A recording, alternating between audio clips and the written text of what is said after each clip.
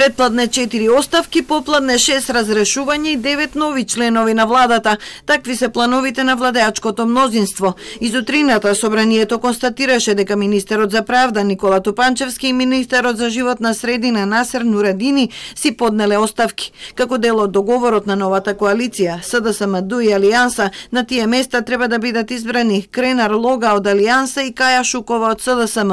Треба да се разрешат и тројцата министри од Алтернатива и да бидат бидат заменети со Фатмир Меджити во здравство и Азир Алиу во информатичко обштество. Собранието констатираше оставки на двајца заменици министри, а откако ќе бидат разрешени уште тројца, ќе се гласа за новите предлози. Сада сама објаснува дека ова се чекори кон Европска Македонија. Владиното парламентарно мнозинство се зголемува и со тоа се подобрува и ефикасноста и функционалноста на собранието, на носењето на клучни закони кои што се во интерес на граѓаните, кои што се во насока на справување со последиците од енергетската и економската криза. Јас верувам во периодот што следи тоа мнозинство уште ќе се зголемува, се со цел, како што кажав и предходно, тој исчекор кон Европската Унија да продолжи. Разрешувањето на Башким Хасани од заменичкото место во одбрана, кој е дел од огнените, придонесува барем тројца пратеници на ДУИ да бидат против, но координаторот Адеми тврди дека сите се лојални на лидерот Ахмети.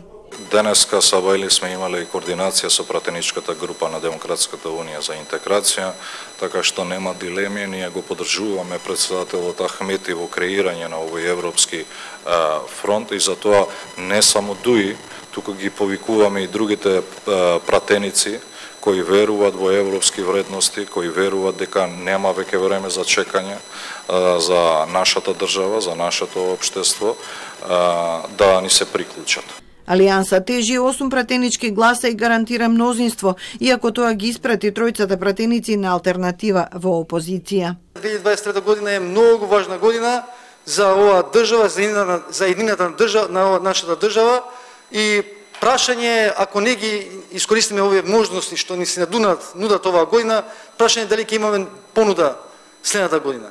Значи, многу е битно да влада биде функционална. Ако владата е функционална, Значи може да има надеж.